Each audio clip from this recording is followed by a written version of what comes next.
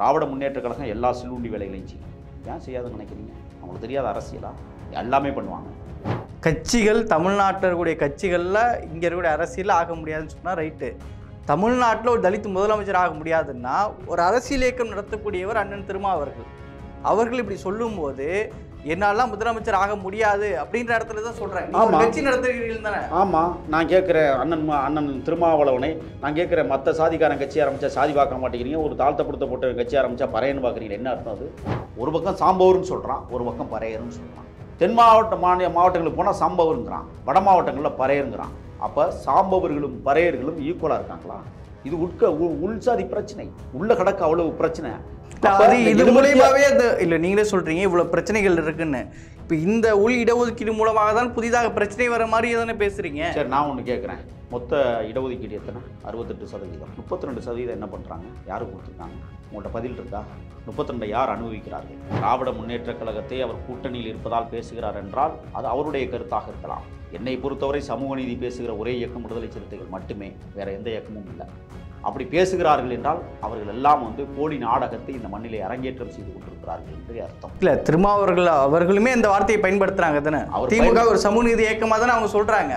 சமூக நீதி இயக்கமாக இருக்கிறது என்றால் சரியாக இயங்க வேண்டும் என்பதுதான் என்னுடைய கருத்து. ஆனால் திராவிட முன்னேற்றக் கழகம் எனது பார்வையில் சரியாக இயங்கவில்லை சமூக நீதி பற்றி. பெரியார் இயக்கத்துக்குள் சாதி இல்லை நீங்கள் என்ன சொல்கிறீங்களா பெரியார் இயக்கத்திற்குள் தான் மிகப்பெரிய சாதி ஆளுமைகள் இருக்கிறது நான் கேட்குறேன் பெரியார் இயக்கத்தில் பெரிய வெறி பிடித்தவர்கள்ட்ட நான் கேட்குறேன். இருளர் வகுப்பில் போய் பொண்ணு எடுத்துருவானா சொல்லுங்கள் பார்ப்போம் ஒரு பறையன் இருளர் வகுப்பில் பொண்ணு எடுக்க மாட்டான். எங்கே திராவிட இயக்கத்தில் இருக்கவன். ஒரு உயர் ஜாதிக்காரன் பறைய வீட்டில் பொண்ணு எடுக்க மாட்டான். ஆனால் பேசுவான் வாய்க்கிலேயே சான்று இருக்கிறதா? ஏதாவது ஒன்று ரெண்டு இருக்கலாம். இதெல்லாம் நிறைய பேர் பண்ணிட்டு தான் என்ன இருக்காங்க. கேட்குறேன்னா இந்த திராவிட இயக்கம் எப்படி ஆர்எஸ்எஸ் வந்து பாரதிய ஜனதா சமூகத்தினுடைய தாக்கம் ஒன்று ரெண்டு இருக்கு. நீங்க ஒட்டுமொத்தம் ஒரு இயக்கத்துக்குள்ள கொண்டு வரீங்க. அப்படித்தான் சொல்றேன்.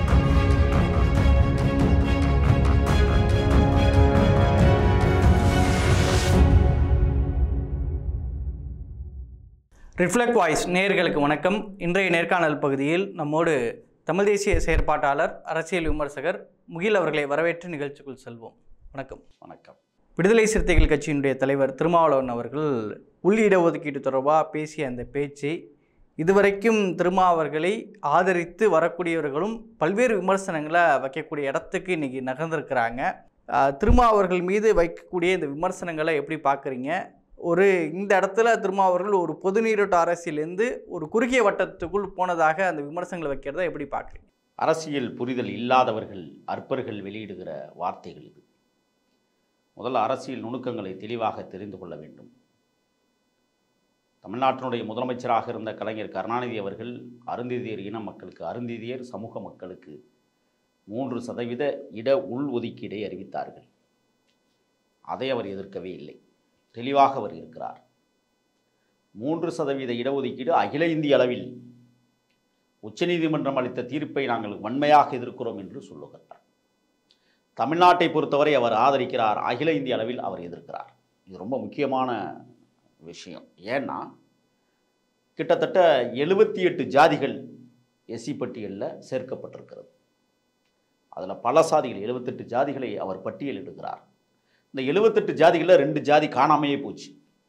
மீத எழுபத்தாறு ஜாதிய அமைப்புகள் இருக்குது இந்த எழுபத்தி ஆறு ஜாதி அமைப்புகள் பறையர் குடிகளுக்கான சாதிய கட்டமைப்புகளாக இருக்கிறது. அருந்ததியர்களுக்கான சாதிய கட்டமைப்பில் பல சாதிகள் உட்பிரிவுகள் இருக்கிறது. அதேபோல் தேவேந்திரகுல வேளாளர் சமூகத்திற்கென்று சாதிய உட்பிரிவுகள் கிட்டத்தட்ட அங்கேயும் ஒரு முப்பதற்கும் மேற்பட்ட ஜாதிகள் இருக்கிறது. ஆக எஸ்சி என்று சொல்லக்கூடிய தாழ்த்தப்பட்ட ஒடுக்கப்பட்ட மக்களுடைய மொத்த மக்கள் தொகை என்ன? இந்தியா முழுவதும் உள்ள மக்கள் தொகை என்ன? அந்த அடிப்படையில் தான் நீங்கள் வந்து இந்த இடஒதுக்கீட்டை வழங்க வேண்டும் என்று அவர் சொல்லுகிறார். நீங்கள் அகில இந்திய முழுக்க நீங்கள் இந்த இடஒதுக்கீட்டை கொண்டு வந்தீங்கன்னு சொன்னால் அருந்ததியர்கள் எல்லா மாநிலங்களிலும் இல்லை. ஒன்று இருக்கிற அந்த மக்களுக்கு ஒரு மாநிலத்தில் ஒரு குறிப்பிட்ட பத்தாயிரம் பேர் இருக்கிறார்கள் என்றால் மூணு சதவீத இடஒதுக்கீடு கொடுப்பீர்களே ஆனால் அந்த மூன்று சதவீதம் அருந்ததியர்களுக்கு அதிகமான பத்தாயிரம் பேருக்கு மூன்று சதவீதம்னு அது எங்கேயோ போயிடுக்குது தமிழ்நாட்டில் கூட இருக்கிறாங்க. மூன்று சதவீதம் நீங்கள் கொடுத்துருக்கிறீங்க. கொடுக்க வேண்டும். அது சமூக நீதி பாதுகாக்கப்பட வேண்டும். மாற்று கருத்து இல்லை. ஆனால் அகில இந்திய முழுக்க நீங்கள் மூன்று சதவீதம் அறிவித்தால் ஒரு மாநிலத்தில் வெறும் பத்தாயிரம் பேர் இருக்கிறார்கள் என்றால் அந்த பத்தாயிரம் பேருக்கு மூன்று சதவீதம் கொடுத்தால் எப்படி அது சரியாக இருக்கும்? அப்போ இங்கே சகோதர யுத்தத்தை தொடங்குவதற்கு உச்சநீதிமன்றம் தயாராக இருக்கிறது. அதற்கு பின்னால் பாரதிய ஜனதா கட்சி ஒளிந்து கொண்டு வேலையை செய்கிறது என்கிற குற்றச்சாட்டை எழுச்சி தமிழர் அவர்கள் தொடர்ந்து பேசி வருகிறார். இந்த புரிதல் இல்லாதவர்கள் தான் இன்றைக்கு அவரை விமர்சனம் செய்கிறார்கள். முதல்ல இப்போ நாம் ஏற்கனவே சொன்னதை போல எழுபத்தி ஆறு ஜாதிகள் கொண்ட அந்த பிரிவுக்கு பல்லர் என்று சொல்லக்கூடிய அந்த பிரிவிற்கு தேவேந்திர குல வேளாளர்களுக்கு அருந்ததிகளுக்கு ஒட்டுமொத்தமாக இருபத்தோரு சதவீத இடஒதுக்கீட்டை வழங்கியிருக்கிறது. அதிலே பதினெட்டு குறைக்கப்பட்டிருக்கிறது நான் என்ன கேட்குறேன்னு சொன்னால் மக்கள் தொகை கூட கூட இடஒதுக்கீடு கூட வேண்டும். அதானே சரியாக இருக்க முடியும்? மக்கள் தொகை கூட கூட நீங்கள் இடஒதுக்கீட்டை குறைக்கிறீர்கள் என்றால் அது எந்த அடிப்படையில் என்று கேட்கிறார்? அப்போ சாதிவாரி கணக்கெடுப்பை நடத்தி அதற்கு ஏற்றார் போல நீங்கள் வந்து இந்த வீதாச்சாரத்தை கொடுக்க வேண்டும் என்று அவர் சொல்லுகிறார். இப்போ நீங்கள் கேட்பதைப் போல உள் இடஒதுக்கீட்டை அகில இந்திய அளவில் நடைமுறைப்படுத்தப்பட வேண்டுமானால் அதிலே சட்ட சிக்கல்கள் இருக்கிறது. தமிழ்நாட்டில் பெரும்பான்மையோர் அந்த சமூகத்தை சார்ந்தவர்கள் இருக்கிறார்கள் அவர்களுக்கு கொடுப்பதில் தவறில்லை. இதைத்தான் அறிவியல் பூர்வமாக அரசியல் ரீதியாக அவர் தொடர்ந்து பேசி வருகிறார். இல்லை இப்போ திருமாவளவன் அவர்கள் ஒரு மாநில உரிமையை பேசக்கூடியவர்கள். மாநில உரிமையில் உறுதியாக இருக்கக்கூடியவர். இடஒதுக்கீடு கொள்கையை மாநில அரசுக்கு அந்த உள் இடஒதுக்கீடு வழங்குவதற்கு அதிகாரம் வருது. இப்போ ஒரு எந்த ஒரு விஷயமாக இருக்கட்டும் இது வந்து பின்னாடி இப்படி சூழ்ச்சிகள் வரும்னா அது எல்லாத்துக்கும் பொருந்தும். அது எப்படி இடஒதுக்கீடுக்கு மட்டும் சொல்லும்போது வேற இடத்துல அது கேள்வி எழுப்ப வேண்டியது இருக்குல்ல? இல்லை நீங்கள் மாநில வாரியாக நீங்கள் பார்க்கணும் கணக்கை. நான் என்ன கேட்குறேன் அதைத்தான் திருப்பி திருப்பி அவர் சொல்ல வர்றது தமிழ்நாடு அளவில் அவர்களும் அந்த மக்கள் தொகையினுடைய கணக்கின் அடிப்படையில் கலைஞர் கருணாநிதி அவர்கள் மூன்று சதவீத இடஒதுக்கீடை கொடுத்தார்கள். இன்றைக்கு அதை பயன்பெற்று கொண்டிருக்கிறார்கள். அதை அவர் விமர்சனமே செய்யவில்லை. அதை வரவேற்று பேசுகிறார். ஆனால் ஆந்திராவிலே இந்த சமூகத்தைச் சேர்ந்தவர்கள் வேறொரு பேரில் இயங்குகிறார்கள். அங்கே மொத்த மக்கள் தொகையை நீங்கள் பார்த்தீங்கன்னா அந்த சமூக கட்டமைப்பில் பதினஞ்சாயிரம் பேர் அல்லது இருபதாயிரம் பேர் இருக்கும் என்றால் அந்த பதினஞ்சு இருபதாயிரம் பேருக்கு மூன்று சதவீதம் நீங்கள் கொடுத்தீர்கள் என்னால் ஆனால் மற்ற மாநிலங்களில் இந்த உள் ஒதுக்கீடு அருந்ததிர் மக்களுக்கு கொடுக்கல. ஆனால் உச்சநீதிமன்றம் ஒரு வழிகாட்டுதலை சொல்லுகிறது. இது எல்லா மாநிலத்துக்கும் பொருந்தும். அந்தந்த மாநில முதல்வர்களே அதை அறிவிக்க வேண்டும் என்று சொல்லுகிறது என்றால் வழிகாட்டல் தராங்க. அந்த மாநிலத்துக்கான அதிகாரம் இருக்கிறதுன்னு தான் நான் சொல்கிறேன் சொல்றாங்க அந்த அந்த அதிகாரத்தை நீங்க கொடுத்துட்டீங்கன்னு சொன்னா இல்லாத மக்கள் தொகைக்கு எப்படி மூன்று சதவீதம் நீங்கள் கொடுக்க முடியும்? எழுபத்தி ஆறு ஜாதி கொண்ட ஒரு கட்டமைப்பு திருவள்ளுவர்னு ஒரு ஜாதி இருக்குங்க. வள்ளுவர்னு ஒரு ஜாதி இருக்குங்க எஸ்சி பட்டியலில் இந்த வள்ளுவர்ல இருக்கிறவன் ஒரு ஐயாயிரம் பேர் இருப்பான். திருவள்ளுவரில் ஒரு ஐயாயிரம் பேர் இருப்பான். அவன் எந்த அடிப்படையில் இந்த இடஒதுக்கீட்டை பயன்படுவான் இதைத்தான் அவர் கேட்குறாரு. இப்போ நீங்கள் அருந்ததியரில் இருக்கிற உள் சாதிய கட்டமைப்புகள் இருக்குது அந்த உள் சாதிய கட்டமைப்புகளுக்கு நீங்கள் மூன்று சதவீதம் பெரும்பான்மையாக தமிழ்நாட்டில் இருக்கிற போது அதில் உட்பிரிவுகளுக்கு இந்த இடஒதுக்கீடு எப்படி போய் சேரப்போகிறது என்கிற கேள்வி வைக்கிற இதுக்கு என்ன பதில் இருக்கு? ஆந்திராவிலையும் கேரளாவிலையும் இது நடைமுறைப்படுத்தப்படவில்லை. ஆனால் அவர்கள் எப்படி இதை இந்த உள்ளூர் இடஒதுக்கீட்டை அருந்ததியினுடைய கிளை பிரிவு சாதிகளுக்கு எப்படி கொடுக்க போகிறார்கள்?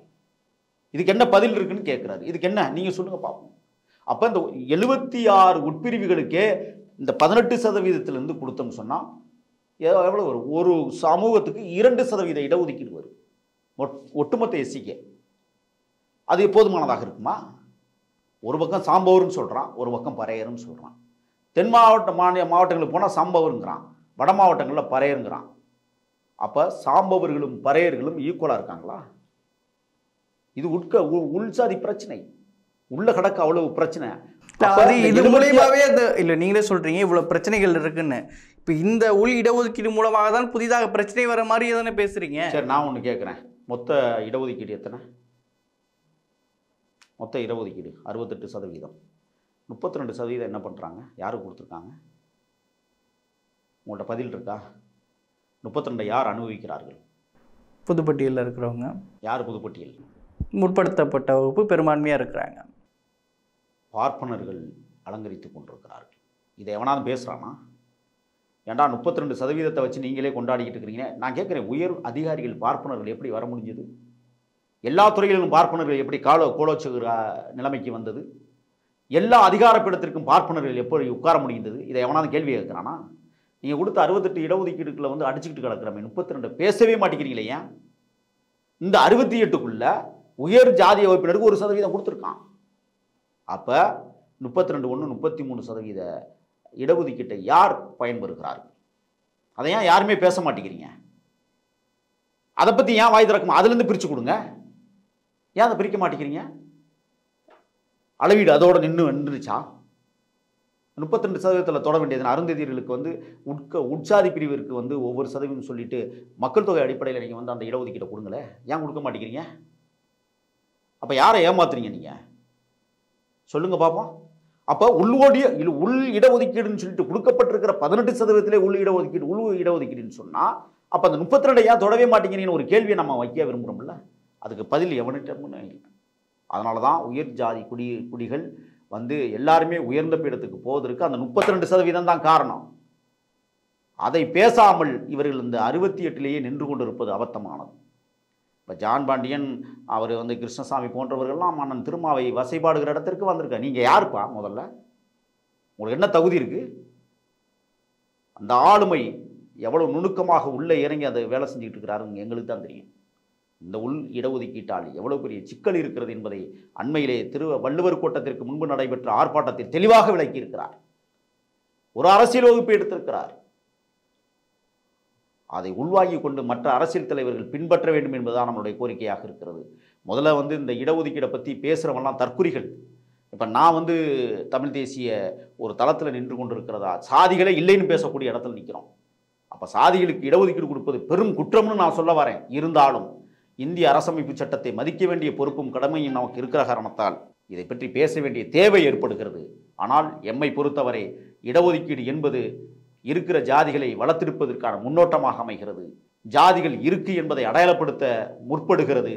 ஆகையால் இடஒதுக்கீடு என்பது அனைத்து தரப்பு மக்களுக்கும் சரிசமமாக பிரித்து கொடுக்கப்பட வேண்டும். அன்றாடங்காட்சி மக்களுக்கு பிரித்து கொடுக்கப்பட வேண்டும். குறிப்பாக தமிழ்நாட்டில் அதுதான் சரியானதாக இருக்கும் என்று நான் சொல்லவில்லை. எம் இனமானத்தினுடைய வேறு இயக்கத்தினுடைய பெரும் தலைவன் எங்கள் தமிழரசன் அதை அறிவித்திருக்கிறார். ஆகையால் நான் மீண்டும் சொல்லுகிறேன் இடஒதுக்கீடு என்பது இந்திய அரசமைப்பு சட்டத்திற்கு உட்பட்டது. நான் இந்தியனாக இருப்பதால் அதை ஆழ்ந்து யோசிக்க வேண்டிய இடத்தில் இல்லை இருக்கிறேன் அதான். இப்போ அந்த அண்மையில் திருமாவளவன் அவர்கள் பேசும்போதே தமிழ்நாட்டில் ஒரு தலித் வந்து முதல்வராகவே முடியாது. தமிழ்நாட்டிலே ஆக முடியாது. அதாவது திமுக ஆக்காதுன்னு சொல்லலாம் மற்ற கட்சிகளை சொல்லலாம். தமிழ்நாடு ஒரு சமூக நீதி மண் இந்த மண்ட தமிழ்நாட்டில் ஒரு தலித்துகள் முதல்வரவே முடியாதுன்னா இதை எப்படி புரிஞ்சுக்கிறதுன்னு ஒன்று இருக்குங்க. அண்ணன் சொல்லுவது நூற்றுக்கு ஆயிரம் சதவீதம் உண்மை. இருக்கிற திராவிட இயக்கங்களில் தாழ்த்தப்படுத்தப்பட்ட வகுப்பை சேர்ந்தவர்கள் எவரும் முதன்மை அமைச்சராக கூட முடியாது. ஆதி திராவிட நலத்துறையை தாண்டி வேறு எந்த துறையும் கொடுக்கறதுல பெரிய யோசனை வரும் அவங்களுக்குள்ள. எங்க நான் கேட்குறேன் கல்வித்துறை அமைச்சரை கொடுங்க பார்ப்போம் ஒரு தாழ்த்தப்படுத்தப்பட்டவனுக்கு. காவல்துறையை பிரித்து ஒரு தாழ்த்தப்படுத்தப்பட்டவனுக்கு கக்கன் காமராசர் கொடுத்தாரே அதை போல் கொடுங்க பார்ப்போம் துப்பு இருக்கிறதா சமூக நீதிமன்றம் இதே சொல்கிறாங்க அவர் திராவிடமன் பேசுவதற்கு காரணம் அயோத்திதாச பண்டிதர் கொள்கைகளை ஆயிரம் ஆயிரம் சித்தாந்தங்களை உள்வாங்கி கொண்டதால் இது திராவிடமன் என்று பேசுவதில் என்ன தவறு இருக்கிறது? இல்லை கொள்கை கூட்டணியின் திராவிட முன்னேற்ற கழகத்தை பேசுபவரும் திருமாவளவர்கள் தானே? நான் ஒன்றே ஒன்று கேட்குறேங்க திராவிட முன்னேற்றக் கழகத்தை அவர் கூட்டணியில் இருப்பதால் பேசுகிறார் என்றால் அது அவருடைய கருத்தாக இருக்கலாம். என்னை பொறுத்தவரை சமூக நீதி பேசுகிற ஒரே இயக்கம் விடுதலை சிறுத்தைகள் மட்டுமே வேற எந்த இயக்கமும் இல்லை.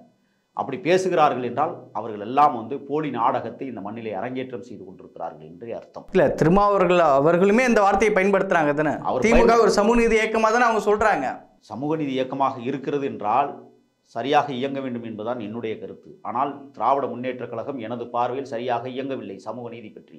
சமூக நீதியை பற்றி அவர்கள் சரியாக இயங்கினால் ஆ ராஜாவை நேரம் முதலமைச்சர் ஆக்கியிருக்கலாம் துணை முதல்வர் ஆக்கியிருக்கலாம் ஆ ராஜாவை மிக உயர்ந்த பதவியாக இருக்கிற உயர்கல்வித்துறை அமைச்சராக ஆக்கியிருக்கலாம். ஆனால் அதையெல்லாம் அவர்கள் செய்ய மறுப்பார்கள். அவர்களுக்குள் சாதிய புத்தி இருக்கிறது. அவர்கள் சாதிய தோற்றத்தோடு தான் மத்திய அமைச்சராக்குனது எந்த கணக்குன்னு சொல்கிறீங்க அது கொடுத்து தானே ஆகணும். ஏன்னா நாடாளுமன்றத்தில் அவருடைய குரல் ஓங்கி ஒலித்த குரல். வேற வழி இல்லைங்க. கொடுத்து தான் இடஒதுக்கீட்டில் அது கொடுத்து தான் சரி நான் நீங்கள் சொல்கிறது நான் இப்படியே வரேன். இப்போ திமுக தலித்தை முதலமைச்சர் ஆக்க ஆக்காது அப்படின்னு சொன்னால் கூட நீங்கள் சொல்கிற பாயிண்ட்டை நான் வேலிடாக புரிஞ்சுக்கிறேன். தமிழ்நாட்டில் ஆக முடியாத தமிழ் மக்களை தானே நீங்கள் சொல்கிறீங்க அப்புறம் எதுக்கு தனியாக அவர்களுக்கு எதுக்கு தனி கட்சி? நான் ஒரே ஒரு சுயதி. அண்ணன் சொல்லுவது தமிழ்நாட்டில் இருக்கிற தலித்திய வாக்குகள் எல்லாம் அண்ணன் திருமாவளவனுக்கு விழுகிறதா? எல்லா சேரியும் ஒன்று சேர்ந்து அண்ணன் திருமாவளவனை தூக்கி கொண்டாடுமா? அதற்குள் திராவிட இயக்கங்களுடைய சித்தாந்தங்கள் பரப்பப்பட்டிருக்கிறது.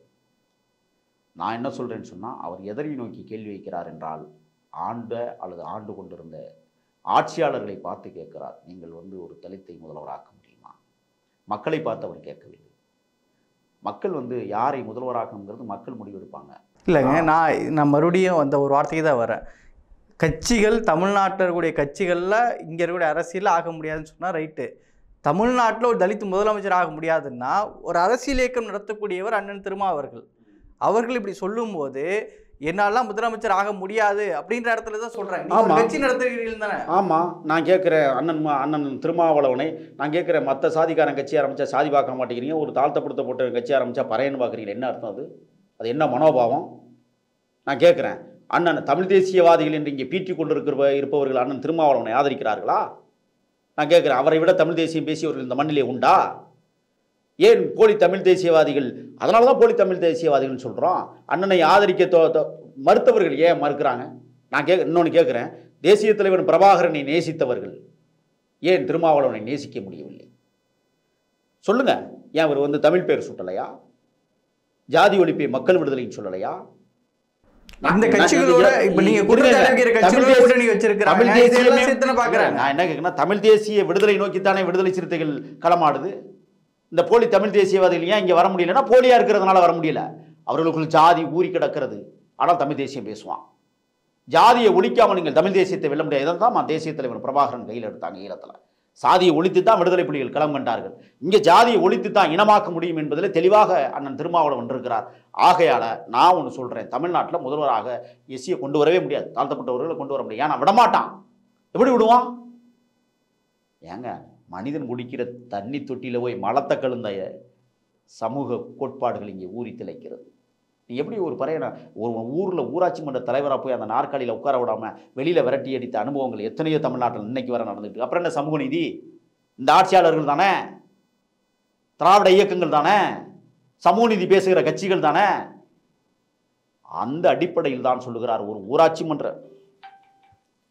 ஒரு ஊராட்சி மன்ற தலைவரை உட்கார வைப்பதற்கே இந்த மண்ணில் பெரிய போராட்டம் நடத்த வேண்டி இருக்கிறது என்றால் ஒரு முதலமைச்சராக வர வேண்டிய தகுதியை நாம் இருந்தாலும் எப்படி அவர்கள் அமர வைப்பார் நான் கேட்குறேன் அண்ணன் திருமாவளவனை விட இங்கே இருக்கிற ஆளுமைகளை வராது உண்டா? அவரோட அவரோட வந்து கருத்தியலுக்கு எதிர் எதிர் உட்காந்து பேச தயார் இருக்கா? தெம்பு இருக்கா? திராணி இருக்கா? அவரோட அறிவாளித்தன்மை வாய்ந்த தலைவர் இங்கே யாராவது இருக்கிறாங்களா? சொல்லுங்க பார்ப்போம் ஏன் அவரால் முதல்வராக முடியவில்லை? சாதியம். சாதி தடுக்கிறது. இப்போ இன்னும் நான் என்ன கேட்குறேன் அப்படின்னா தமிழ்நாட்டில் நீங்கள் சொல்கிறக்கூடிய கேஸ்ட் மைண்ட் செட் உள்ளவங்க இருக்கிறாங்க. அதை தாண்டி தமிழ்நாட்டில் பெரியாரிய கருத்தை சமூக நீதி கருத்தை இந்த மாதிரியான பொது ஒரு மாற்றத்தை விரும்புகிற சக்திகளும் ஒரு கணிசமான அளவில் இருக்கிறாங்க.